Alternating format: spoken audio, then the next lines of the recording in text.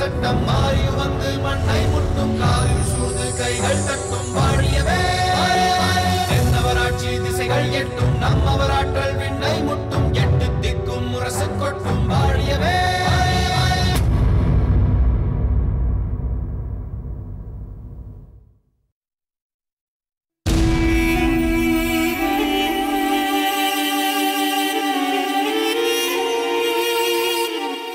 யாரங்கே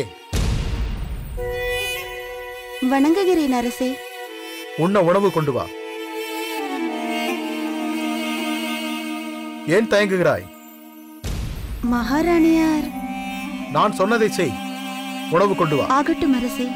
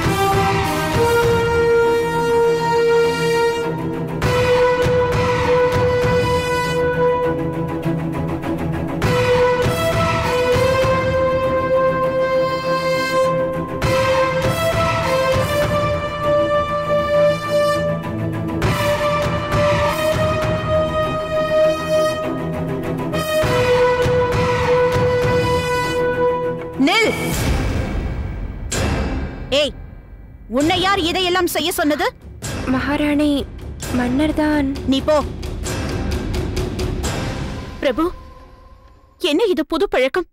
என்னை அழைத்திருந்தால் நான் வந்து உணவு பரிமாறி இருக்க மாட்டேனா? சொல்லுங்கள் பிரபு. உங்களுக்கு உணவு பரிமாற வேண்டியது ஒரு பணிப்பெண் செய்ய வேண்டிய காரியமா? ஏன் இப்படி என்னை அலட்சியம் செய்கிறீர்கள்? என்னிடம் பாராமுகமாக நடந்து கொள்வதற்கு அப்படி நான் என்ன செய்து விட்டேன் அதை நீயே உன் மனசாட்சியிடம் கேட்டுப்பார். என்ன பிரபு? என் மனசாட்சி என்பதே நீங்கள் தானே? என்று நம் திருமணம் நடந்ததோ? அன்று முதல் உங்கள் மனதில் என்ன நினைக்கிறீர்களோ அதை நிறைவேற்றுவதுதான் என் வாழ்க்கை என்று நான் வாழ்ந்து கொண்டிருக்கிறேன். இதையெல்லாம் நீ என்னை நம்ப சொல்கிறாயா? பிரபு தாங்களே என் பேச்சை நம்பாவிட்டால் நான் யாரிடம் சென்று இதையெல்லாம் சொல்ல முடியும்? மன்னர் தான் மணந்து கொண்ட ராணியின் பேச்சை மதிப்பதில்லை. மனைவி சொல்லும் எதையும் நம்புவதில்லை என்று தெரிந்தால் இங்குள்ள மற்ற வீரர்கள் என்னை மதிப்பார்களா? என்று பணிப்பெண்ணை அழைத்து பரிமாறும்படி கூறினீர்களே. இதற்கு பின் அவள் எனக்கு மகாராணி என்ற எண்ணத்தோடு மரியாதை தருவாளா? மதிப்பு மரியாதை எல்லாம் எப்பொழுதும் போல் உனக்கு இங்கு இருக்கும். வேளிர்குடி மகாராணி என்ற உரிமையைத்தான் நீ உறுதியாக பயன்படுத்திக் கொண்டிருக்கிறாயே. ஆனால் என்னிடம் தான் எந்த உண்மையும் சொல்லிவிடக் கூடாது என்பதில் உறுதியாக இருக்கிறாய். ஏன் இப்படியெல்லாம் பேசுகிறீர்கள்? நான் எந்த உண்மையை உங்களிடமிருந்து மறைத்தேன்? போது முத்துநகை. எவ்வளக்கிழவனை பற்றி உண்மை என்னிடம் நீ மறைக்கவில்லை? அவனை பற்றி உனக்கு தெரியும் என்பது முதல் நாளே எனக்கு தெரிந்துவிட்டது. பின்பு வற்புறுத்தி கேட்டபோது அவன் வீட்டிற்கு வருவான். என் தந்தைக்கு தெரியும் என்று ஒப்புக்கொண்டாய். உன் தந்தையாரை பார்க்க உன் நிலத்திற்கே வரக்கூடியவன் அந்த எவ்வளக்கிழவன் என்றால் உனக்கு அவனை பற்றி எல்லா விவரமும் தெரிந்திருக்க வேண்டுமே? அப்படிப்பட்டவன் இந்த காட்டுக்குள்ளே வந்து என் தங்கை தாமரையிடம் தவறாக நடந்து கொள்ள முயன்றிருக்கிறான் என்றால் என்ன பொருள்? அவன் யாருடைய அழைப்பின் பேரில் இங்கு வந்தான்? அவன் உன்னை அறிவான் என்பதால் உன்னை பார்க்கத்தான் இங்கு வந்தானா? இல்லை அவனை இங்கு வரச் சொல்லி நீ அவனுக்கு அழைப்பு விடுத்தாயா? இப்படி பல கேள்விகள் எனக்கு பிறக்கிறதே. இல்லை பிரபு. வீணாக என்னை இப்படியெல்லாம் சந்தேகப்படாதீர்கள். எவன கிழவரும் தந்தையாரும் உரையாடும் போது என்னை அருகில் கூட நெருங்க விட மாட்டார்கள். அவர் யாரென்று நான் கேட்டபோது பார்த்தாலே தெரியவில்லையா? அவர் ஒரு எவனக்கிழவர் கிழவர் என்று சொல்லிவிடுவார். அதைத்தான் நானும் உங்களிடம் அப்படி சொன்னேன். மற்றபடி அவர் யார் என்பது என் தந்தையாரை தவிர வேறு யாருக்கும் தெரியாது. அப்படியே இருக்கட்டும். ஆனால் அவன் ஏன் இந்த காட்டிற்குள் வந்தான் என்பதுதான் இங்குள்ள எல்லோர் மனதிலும் உள்ள கேள்வி. உன்னை எப்படியாவது சந்தித்து ஏதேனும் சில விஷயங்களை தெரிந்து கொள்ளத்தான் இங்கு வந்திருக்கலாம். ஆனால் வழியில் தாமரையை பார்த்ததும் எல்லாவற்றையும் மறந்து ஏருக்கு மாறாக நடந்திருக்கிறான் பிரபு. இது கூட இங்குள்ள எல்லோர் மனதிலும் உள்ள சந்தேகம்தான். இதை பற்றி நீ மனம் விட்டு பேசும் வரை நாம் முன்பு போல் இயல்பாக பழக முடியாது. உன்னிடம் நான் முகம் கொடுத்தும் பேச முடியாது. பிரபு பொறுங்கள் அமருங்கள் உணவு அருந்திவிட்டு செல்லுங்கள். நமக்குள் இருக்கும் மனஸ்தாபம் தீரும் வரை நீ பரிமாறும் உணவை என்னால் ஏற்றுக்கொள்ள முடியாது.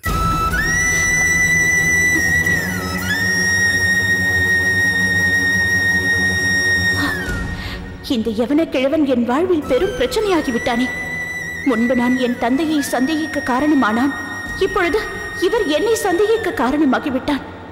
இதை எப்படியாவது உடைத்தறிய வேண்டும். இல்லையென்றால் நான் நாட்டி படைக்கும் பொம்மையாக இருங்கோ வேளை மாற்ற முடியாது. உடைக்கிறேன்.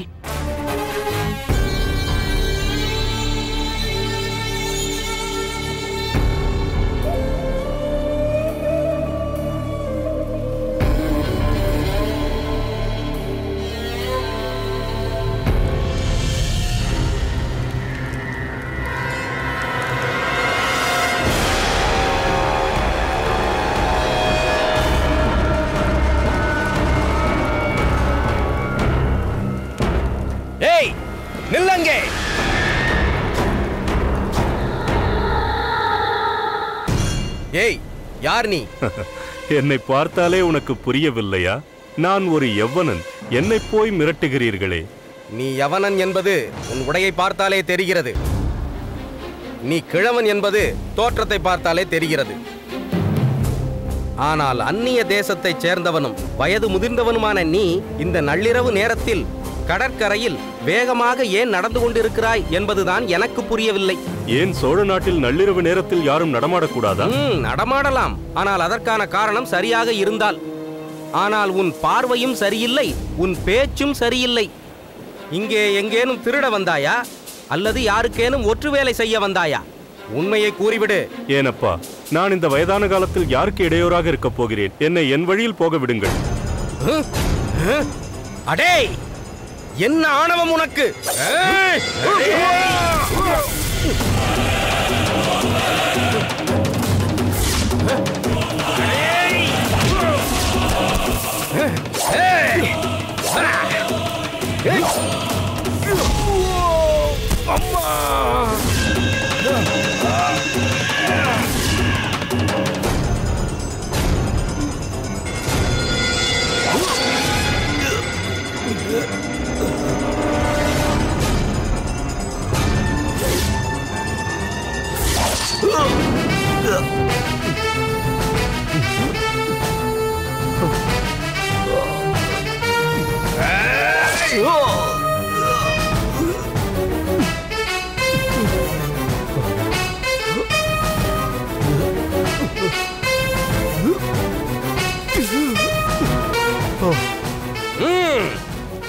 இப்போது கூறு. யார் நீ? நான் ஒரு தேசாந்திரி. பல நாடுகளை சுற்றி பார்க்க வேண்டும் என்று ஆவல் கொண்டவன். அத்தோடு தமிழ் மீது மிகுந்த பற்று கொண்டவன். பூம்புகாரில். புலவர் காரிக்கண்ணனாரை சந்திப்பதற்காகத்தான் நான் வந்தேன். ஆனால் எவனான நீ? தெளிவாக தமிழ் பேசுகின்றாயே.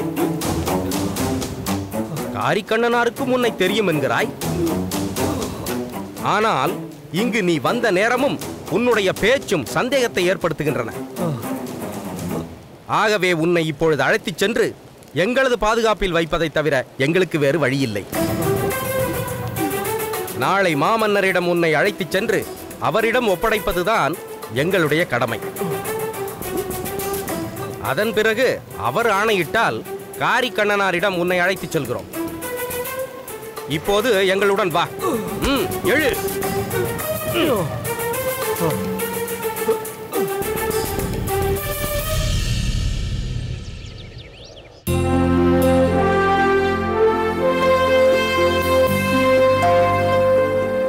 கடியலூர் உருத்திரங்கண்ணனாரே தாங்கள் இங்கு வந்து என்னை பற்றி பட்டினப்பாலை என்ற நூலை பாடி அரங்கேற்றியது கூட பெரிதில்லை.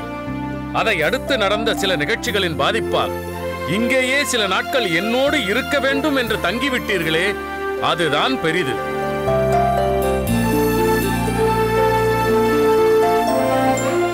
காரைக்கண்ணனாரோ மகளைப் பற்றி சிந்தனையால் சிறிது காலமாக இங்கு வருவதையே நிறுத்திவிட்டார். இந்த நிலையில் தாங்கள் இங்கு இருப்பதால் தான் என் மனம் பெரிதும் மகிழ்கிறது. மன்னவா தாங்கள் புலவரெல்லாம் போற்றும் அரசர் மட்டுமல்ல தாங்களே பெரும் புலமை மிக்கவர் என்பதை காரிக்கண்ணனாரே பலமுறை வியந்து பாராட்டியிருக்கிறார். அது எவ்வளவு உண்மை என்பதை நான் சில நாட்களிலேயே தெளிவாக தெரிந்து கொண்டேன்.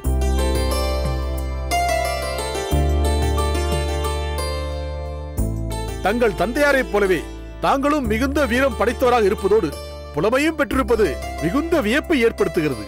எனது தந்தையார் உருவ பக்ரேர் இளஞ்செட் சென்னியை பற்றி நினைக்கும் பொழுது என் உடல் சிலிர்க்கிறது புலவர் பெருமானே.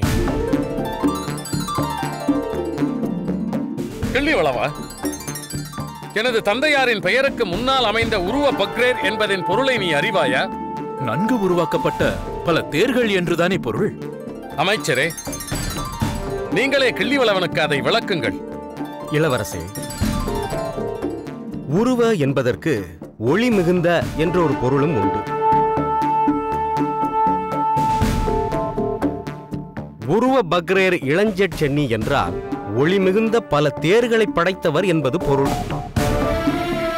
அந்த தேர்களை வழிநடத்தி வாழ்நாள் முழுவதும் போர் போர் என்று களத்திலேயே உழன்றவர்.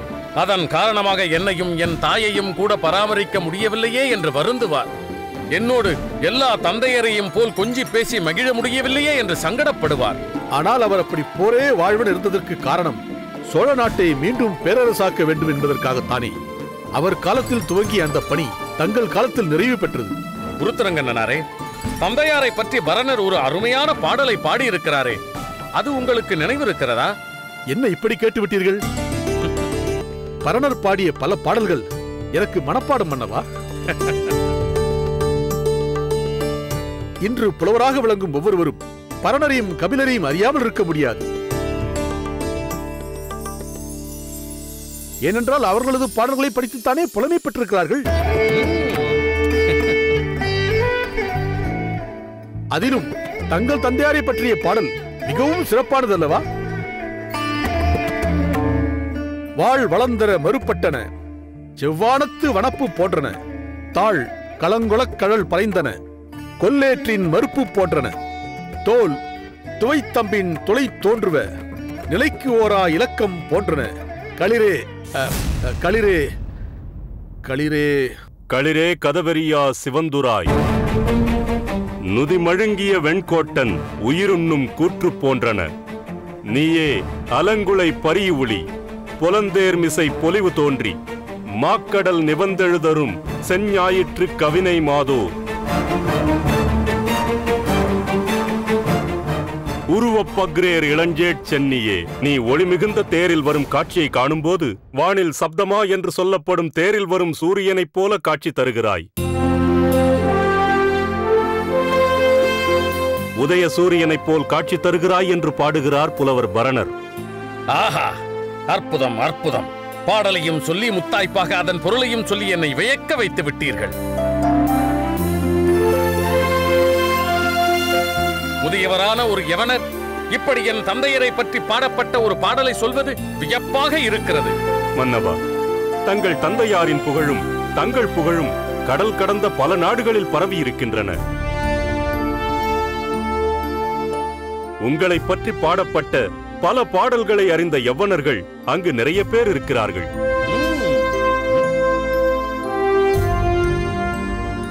தந்தையே இவரை நம் வீரர்கள் ஏன் இங்கு அழைத்து வந்தார்கள் என்பதை தாங்கள் கேட்கவில்லையே. அதுவும் சரிதான். வீரர்களே சொல்லுங்கள். யார் இவர்? எதற்காக இவரை இந்த நிலையில் கொண்டு வந்திருக்கிறீர்கள்?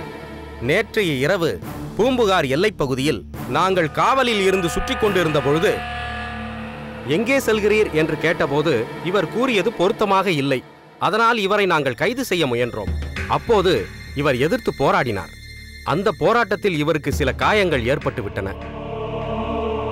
அதன் பிறகு இவரை பிடித்து விசாரித்ததில் இவர் எந்த உண்மையையும் கூற மறுத்துவிட்டார் அரசே. அதன் பிறகு இவரை ஒரு அறையில் அடைத்து வைத்திருந்து விடிந்ததும் தங்கள் முன்பாக கொண்டு வந்திருக்கிறோம். காயங்களுக்கு மருந்து கொடுத்தீர்களா இல்லையா? களிம்பு தந்து உபசரித்து உணவும் கொடுத்துத்தான் அழைத்து வந்தோம். ம், பெரியவரே தாங்கள் யார்? தங்களுக்கு ஏன் இந்த நிலை ஏற்பட்டது? மன்னவா நான் ஒரு தேசாந்திரி. நாடுதோறும் சுற்றி வருபவன். அப்படி வரும்போது ஒரு காட்டிற்குள் புகுந்து வரும்படி நேர்ந்தது. அங்கு திடீரென ஒரு பெரிய மிருகம் வந்தது. அதை பார்த்து நான் மரத்தின் மீது ஏறி அமர்ந்து கொண்டேன். இரவு வெகு நேரத்திற்கு பின் அந்த மிருகம் சென்ற பிறகுதான் நான் அந்த காட்டை விட்டு வெளியே வந்தேன். அதன் பிறகு பூம்புகாருக்குள் புகுந்த பிறகுதான் பாதுகாப்பான இடத்திற்கு வந்துவிட்டோம் என்ற நிம்மதி ஏற்பட்டது. ஆனால் இங்கே என்னை கண்ட சோழ வீரர்கள் சந்தேகப்பட்டு பிடித்து அடைத்து வைத்தார்கள்.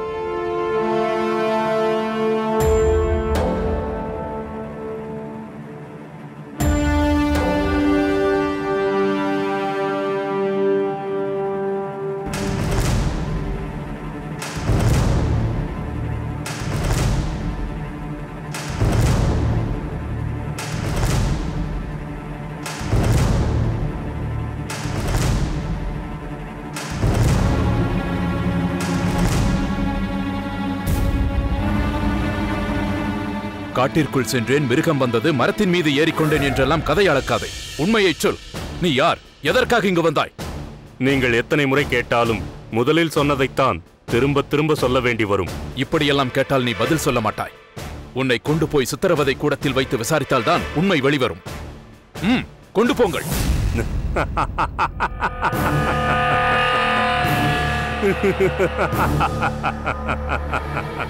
ஏன் இந்த சிரிப்பு?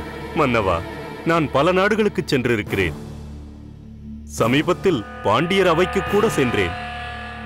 அங்கு மன்னரும் இருந்தார் இளவரசரும் இருந்தார்.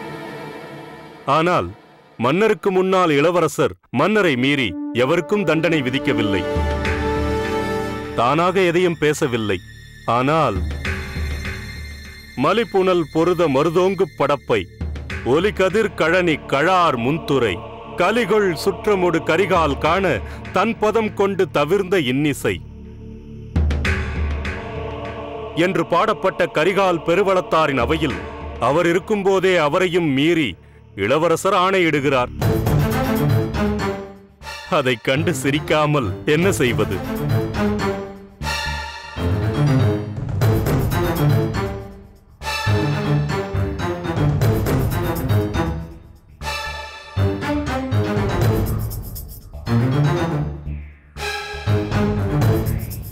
யவனரே தாங்கள் சங்கடப்பட தேவையில்லை.